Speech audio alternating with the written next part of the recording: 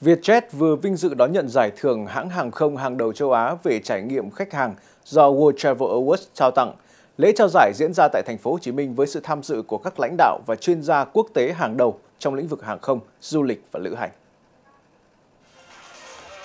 World Travel Awards là giải thưởng uy tín thế giới, vinh danh các nhà cung cấp dịch vụ tốt nhất trong ngành du lịch và lữ hành từ năm 1993, được đánh giá bình chọn bởi những chuyên gia, hành khách và cộng đồng từ nhiều quốc gia trên thế giới. Vietjet được đánh giá là hãng hàng không đang phát triển nhanh chóng, tạo dựng một vị thế khác biệt cho mình trong thị trường hàng không cạnh tranh. Tập trung vào sự thuận tiện, các chương trình tiếp thị hấp dẫn mang lại nhiều lợi ích dành cho khách hàng dựa trên sự tiên phong đổi mới. Vietjet đã đạt được những kết quả nổi bật trong việc nâng cao trải nghiệm bay tổng thể cho hành khách của mình.